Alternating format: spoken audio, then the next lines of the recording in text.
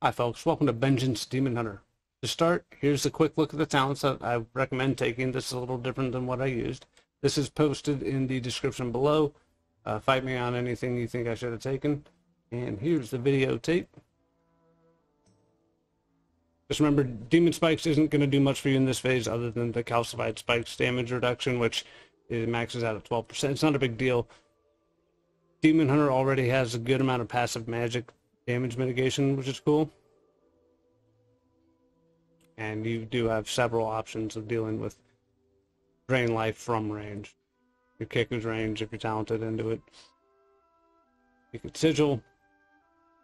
The only reason I killed that eye is because it was there and I didn't want to go into the puddle yet, so it was like, why not, right?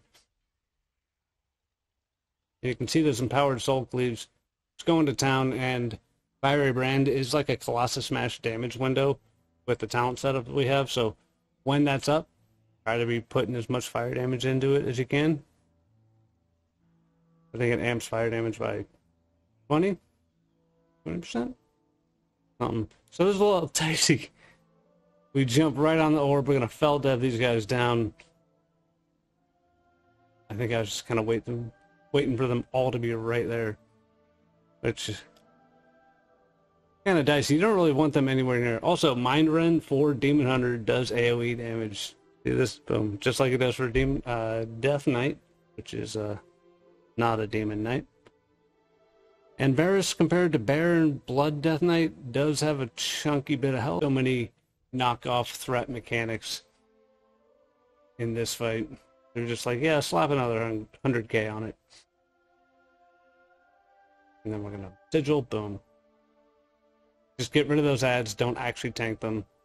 They apply a debuff, which increases their damage to you, and they will mow you down super duper fast, way faster than you think. So don't actually tank them. Get threat and get away.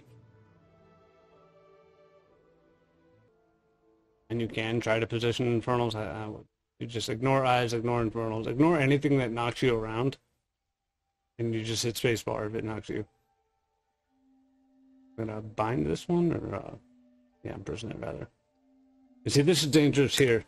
They're casting Nether Storm, which they cast on the move for Demon Hunter. They don't do that for like Death Knight, for example.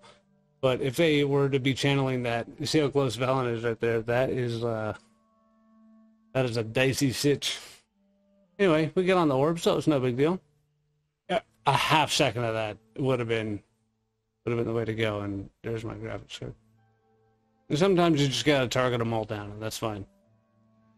And not transitioning with four ads debuffing you and a bunch of other problems going on.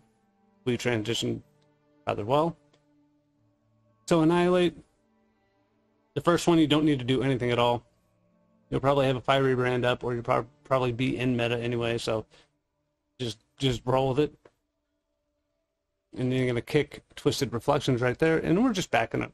Remember, we're always backing up, and this is, again, it's not out of respect for the Infernal, it's just kind of habit. Every other tank I do this on, every other tank I do this in the challenge. And this is more dicey, so that's an orb. I'm thinking, where's my spirit bomb right about now? We hunt something, we hunt Kruul, another orb. Yeah, look at that.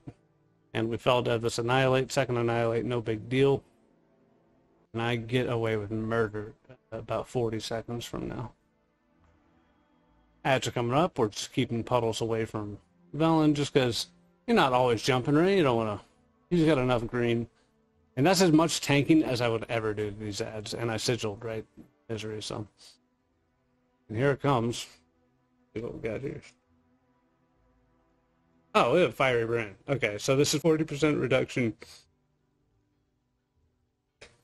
Oof. It was like 15k. All I had was calcified spikes. I didn't have any armor from demon spikes. I didn't have fallout anything else. So funny. And that's how you Kruul on Vengeance Demon Hunter. Pretty easy. Also, uh, if these kill Velen after you kill Kruul, you lose the challenge. Very holy priesty. Just kill him. Don't stand on Velen. Goodness. Folks, I want to thank you for watching. If you haven't yet, please hit that subscribe button. I'm pretty sure it blinks these days. Hit that like button if you like the video, and that bell if you want to be notified when the next video comes out. And please share with your friends. Thanks again, guys. Take care.